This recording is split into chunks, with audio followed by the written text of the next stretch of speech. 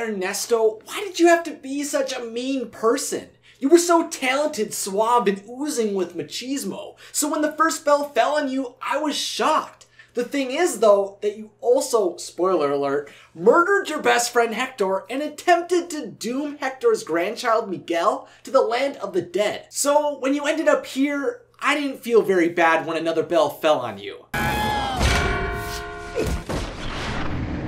When I started to really think about what happened to you, I just couldn't pinpoint what your ending was going to be. Ernesto de la Cruz, did the bell bring you to the final death, or are you still roaming the land of the dead? Hello, I'm Isaac from Wotso Videos, where we discuss fun topics for fun people, and today I'm going to attempt to explain Ernesto de la Cruz's fate. If you'd like to learn more about Ernesto, I provided all the links to the movies and the resources I used in the description. And to continue discussing Pixar with me, make sure to subscribe and click that notification button. Although I'm sure that giant bell definitely hurt Ernesto, I do not think it brought him to his final death. The final death does not occur when a skeleton falls apart. It comes about when a soul is forgotten. When there's no one left in the living world who remembers you, you disappear from this world. We call it the final death.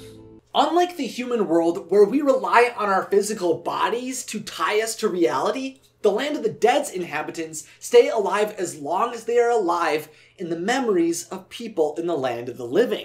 In truth, skeletons are actually extremely durable and possess the ability to always put themselves back together, which we see when Miguel bumps into Papa Julio.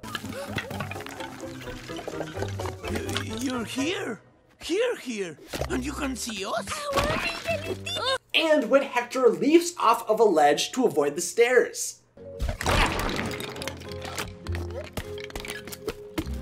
Keep up, Chamaco, come on. Thus, when Ernesto is crushed, he is not permanently destroyed.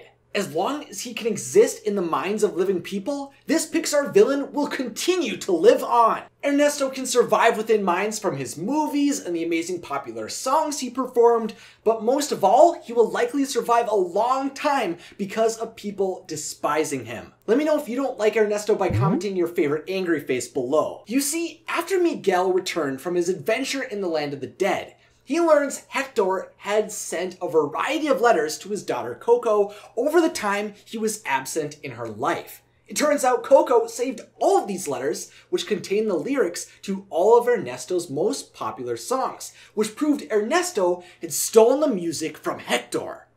The letters Hector wrote home for his daughter Coco contain the lyrics for all of your favorite songs, not just Remember Me. Now, I'm really not sure if the world ever learned that Ernesto also killed Hector, but regardless, this Hector Ernesto scandal turned the public against Ernesto. In the course of a year, fans went from praising the musician This very plaza, the young Ernesto de la Cruz took his first steps toward becoming the most beloved singer in Mexican history. to absolutely despising him. Even going so far as writing on his burial, Forget You. Of course, the irony of the situation is, though, the more people hated Ernesto, the longer he would survive in the land of the dead. Elie Wiesel, a writer, professor, political activist, and Holocaust survivor, once said, The opposite of love is not hate, it's indifference. It doesn't matter if the public loves or hates Ernesto because it has the same effect for him. Our memories, they have to be passed down by those who knew us in life, in the stories they tell about us. Living individuals possessing positive or negative stories of Ernesto is unimportant because they are still memories, so he will keep living. And Lee Unkrich, the director of Coco, supports this thought process. When Unkrich was asked by at Emily Cranking and at Ann underscore equal society on Ernesto's fate and his existence after he was crushed by the giant bell in the land of the dead, he states Ernesto is not permanently dead and that he is actually permanently disgraced. So if Ernesto was not destroyed by the second bell and he is not going to be forgotten anytime soon, is there any real justice at the end of Coco? Yeah, there actually is. Coco is a wonderful story that ties up loose ends pretty nicely. Just one of the reasons Coco captured my heart. Ernesto may continue to live in the land of the dead, but he won't be well off. See, Ernesto relied on his dedicated fans to provide him with luxuries. All of this came from my amazing fans in the land of the living. They leave me more offerings than I know what to do with. Without fans loving him, he's going to lose everything. His plaza, his sunrise service, his food, his guitars, his parties, everything. Ernesto may not be fading into oblivion, but he has to survive for the foreseeable future with constant reminders of his shame and nothing to show for everything he did to seize his moment. Ernesto de la Cruz was a massive star with a dark side that was finally revealed to the world in the events of Coco. The last time we see him in Coco, we see his skeleton body crushed by a massive bell, and that may have hurt, but it didn't end his existence. In fact, his existence will likely live on for many years to come.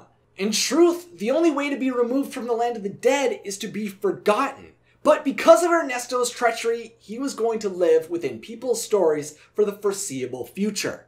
But although he may be able to live on, because of his disgrace, he will lose his fortune, his friends, and his dream of being remembered as the greatest musician to have ever lived.